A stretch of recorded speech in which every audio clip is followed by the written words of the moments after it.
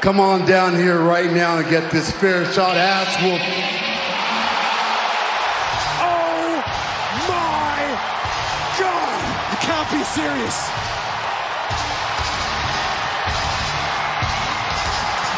What the hell is happening? The Beast is back in Brooklyn.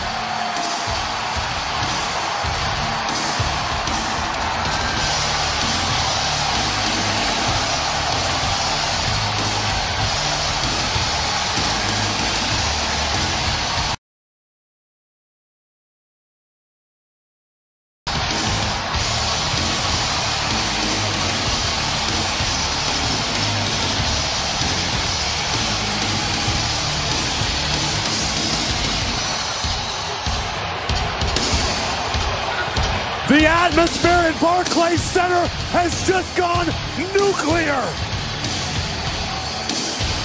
But why is Brock here?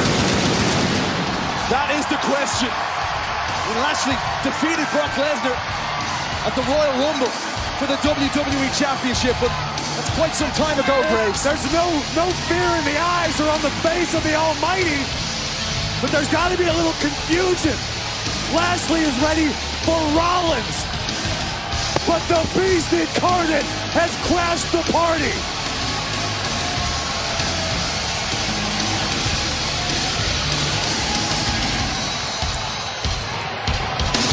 Like the predator that he is, circling the ring. As Lashley can only watch on. Yeah, but Bobby Lashley is the furthest thing from prey. I promise you that.